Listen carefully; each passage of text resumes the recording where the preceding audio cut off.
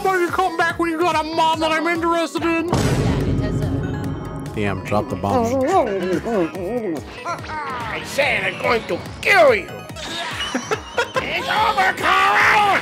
Oh my god! Where, where, where, where, where, where? He's killing me! Ah, ah. I'm the party superstar!